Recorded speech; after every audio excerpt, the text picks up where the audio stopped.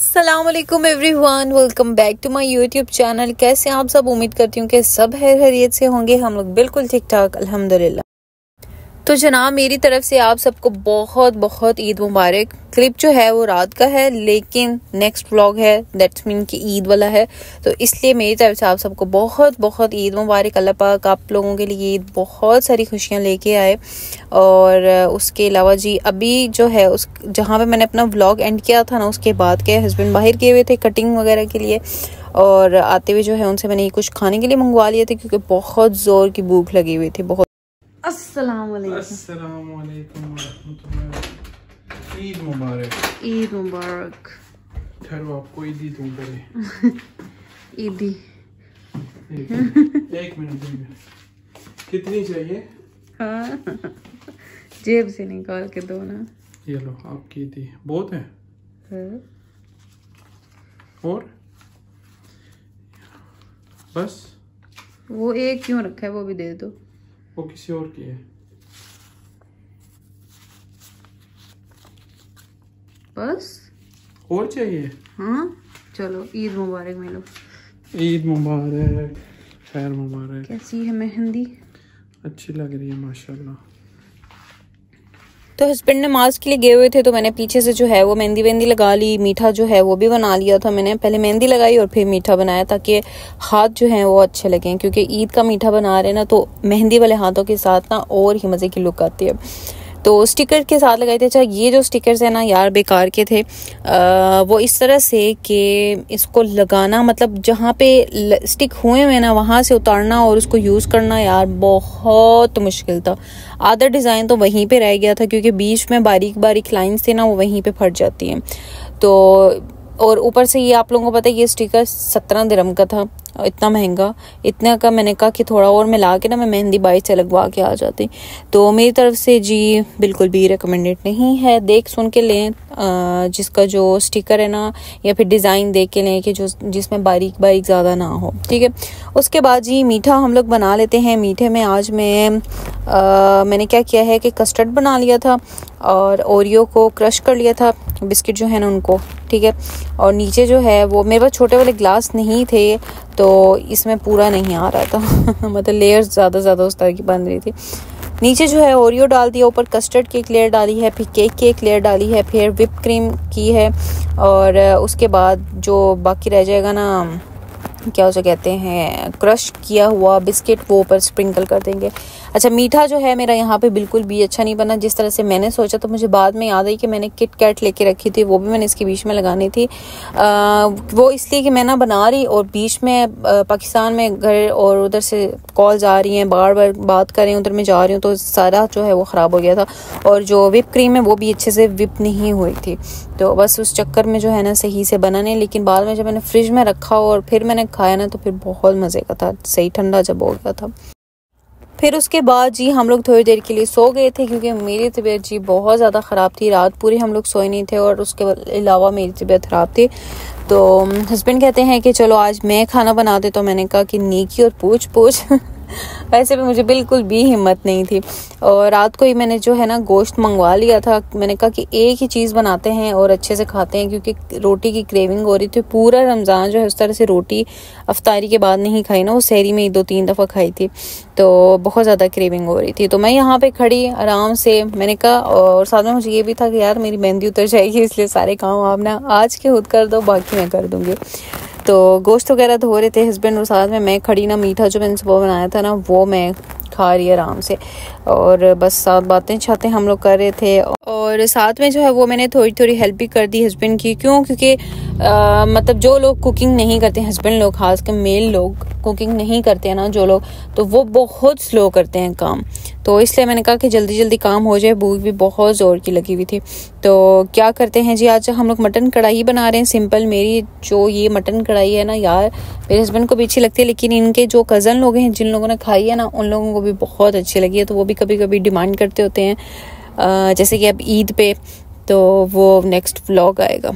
तो उसके अलावा जी आ, मैं साथ में जो है लहसुन अदरक का पेस्ट बना के दे रही थी उनको। मैंने कहा जल्दी जल्दी खाना बन जाए। रोटी जो है वो बाहर से ही लेके आएँगे। रोटी तो घर नहीं बन रही है।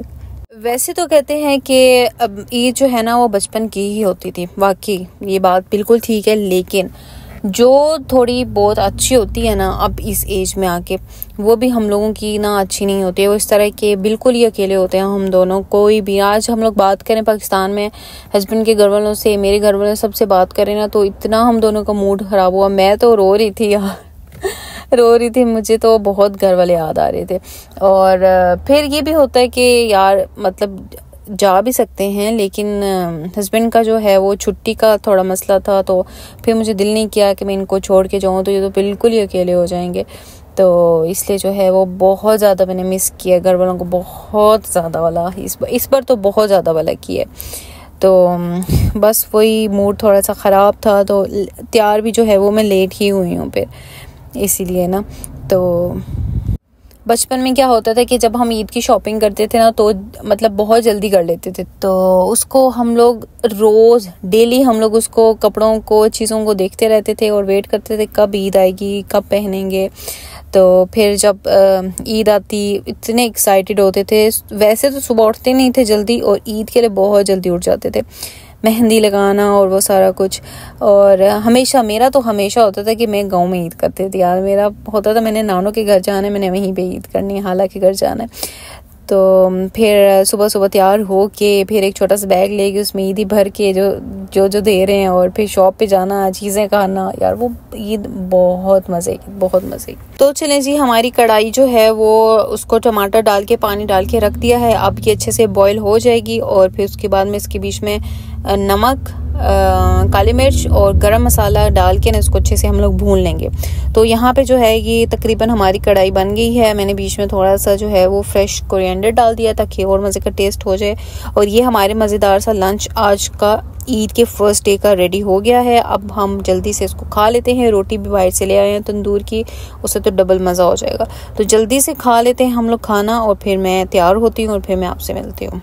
तो खाना शाना खा के जी, अभी हम लोग करने लगे हैं मेकअप में तैयार होने लगी थी लेंस मैंने लगा ली है, थोड़ी सी स्किन केयर कर ली थी और उसके अलावा जी, मैं स्टार्ट तो मैंने यहाँ पे कर दिया, मैंने कहा मैं फुल लुक जो है ना, वो रिकॉर्ड कर लेती हूँ, पूरा मेकअप रिकॉर्ड कर लेती हूँ, लेकिन नहीं हो पाया। वो इसलिए कि मेरा आधा सामान मेकअप का एक कॉर्नर में पड़ा हुआ था, आधा सामान दूसरे कॉर्नर में पड़ा हुआ था और तीसरे कॉर्नर में मैं तैयार हो रही थी। एक जगह से दूसरे दूसरे तीसरी भी ऐसे मुझे तो चक्कर आ गए और ऊपर से मैंने नेल्स लगा लिए थे, मेरे से कोई काम नहीं हो रहा था, कोई काम नहीं हो रहा था। तो मैंने बस हल्के से ये दो चार क्लिप्स किए हैं, बस प्राइमर लगाए हैं दोनों और कंसीलर लगाया है, उसके बाद बस मैं तो गायब हो गई। मैंने कहा जल्दी से जो है वो तैयार हो लेती हूँ क्योंकि फिर रोशनी ख़त्म हो जाएगी पिक्चर्स अच्छी नहीं आएँगी फिर। और इसलिए जो है वो मैंने स्किप कर दिया। अगर आप लोगों को ये लुक चाहिए होगी तो आप लोग मुझे कॉमेंट कर देना, मैं दोबारा बना दूँगी। मुझे पता है कि मैंने क्या क्या किया था। तो चलें जी, मैं रेडी हो गई हूँ और अभी हिजाब को भी थोड़ा सा सेट कर लेते हैं। पास ही एक पार्क है, वहाँ पे चलते हैं, थोड़ा फ़ोटो शूट करते हैं वीडियोस बनाते हैं। मुझे यहाँ पे देर हो रही और मेरे हस्बैंड को देखो, यहाँ उनके शशके ओए होए होए होए ओए होए बहुत प्यारे लग रहे हैं। चलें चलें। हम लोग पहुँच आए हैं जी पार्क में और हवा जो है वो बहुत ज़्यादा थी। और हवा और ऊपर से और गेंजा का दुपट्टा होना, ओए होए होए, बहुत मुश्किल होती है। मेरा दुपट्टा तो यहाँ पे खड़ा ही नहीं हो रहा था। तो ये है जी मेरा ड्रेस ईद का, जो कि आप लोग पूछ रहे थे बार बार कह रहे थे कि दिखाया नहीं है दिखाया नहीं। मैंने कहा, यार, ईद पे ही दिखाऊँगी। मुझे लगता है कि अब वो दौर ख़त्म हो गया कि ईद का सूट दिखाते नहीं थे, अब जो है ना, दिखा देते हैं लोग। तो मैंने कहा कि चलें, ईद पे ही आप लोगों को दिखाऊँगी। ज्वेलरी और जूते जो हैं, वो मैंने घर से ही किए थे, वो मैंने नए नहीं लिए थे। और इसके बीच में थोड़ा सा ग्रीन था तो उस हिसाब से मैंने हिजाब लिया है और नील्स उस तरह से लगाए थे। और अच्छा ये जो ड्रेस है ना, ये वन फिफ्टी दिरम्स का मुझे मिला है। इसके ऊपर जो है, वो अच्छा मतलब पाकिस्तानी हैवी सूट में आता है ये। और वन फिफ्टी दिरम्स का मिला मुझे। और ये पाकिस्तानी शॉप है ना, यहाँ पे। अबू धाबी में तो वहाँ से मैंने लिया था। फ़र्स्ट फ़ैशन जो है ना, वहाँ से लिया था मैंने। तो जब मैं यहाँ पे आई थी ना तो वहाँ से इसी शॉप से मैं पाकिस्तानी सूट्स जो हैं वो लेती थी। तो चलें जी, अभी चलते हैं घर, क्योंकि बहुत ज़्यादा गर्मी है और मेकअप जो है ना, वो मैंने ब्राउन ब्राउन सा किया है आँखों पे। लैशेस वगैरह लगाए हैं लेंस वगैरह लगाए हैं तो उससे जो है वो लुक बहुत ज़्यादा इन्हेंस हो जाती है। तो हम्म, चलें जी अभी चलते हैं घर क्योंकि बहुत ज़्यादा गर्मी हो गई है। घर जाके जल्दी से मैं ये कपड़े उतारूँ। स्पेशल फुल कार्ड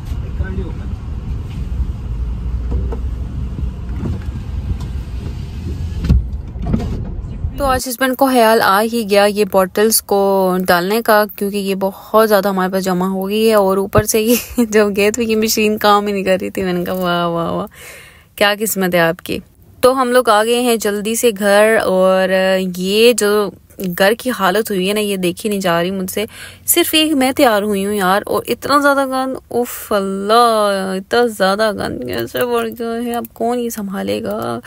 मैं मैं एक लड़की तैयार हुई हूँ और यहाँ पे दो तीन और होती तो आप हिसाब लगा सकते हो क्या होता। तो ये था मेरा एक कॉर्नर पे आधा सामान यहाँ पड़ा था, आधा वहाँ पड़ा था और इस कॉर्नर पे जो है वो मैं वीडियो बना दी थी जहाँ से मैंने सामान हटाया है। तो चलें जी, फिर इसको करते हैं, आहिस्ता से साफ़ करते हैं। मिलती हूँ फिर आपसे नेक्स्ट वीडियो में। ये था मेरा ईद का पहला दिन और उम्मीद करती हूँ आप लोगों को पसंद आएगी वीडियो वीडियो पसंद आए तो लाइक करें शेयर करें कमेंट करें। मिलती हूँ आपसे नेक्स्ट वीडियो में। अपना बहुत सारा ख्याल रखिएगा, दुआओं में याद रखिएगा। अल्लाह हाफिज़।